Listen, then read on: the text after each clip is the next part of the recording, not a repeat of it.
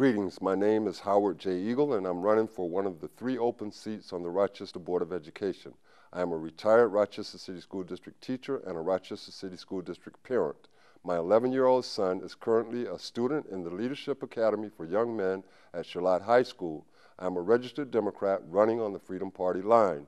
It is obvious that the majority of the relatively small number of Democrats who turned out for the September 10th primary election, about 23 percent, supported status quo incumbent candidates. In addition to our supporters in September, it is the 77% who did not come out whom we hope will come to the polls on November 5th, along with thousands of others who are members of other political parties or not registered in any political party at all. We hope for the sake of Rochester City School District students and families that you will reject the entrenched status quo and vote for bold, knowledgeable, and committed leadership and change.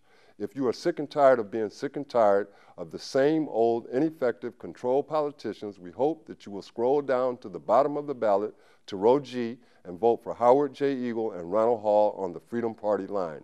Our platform is about change and improvement for our students.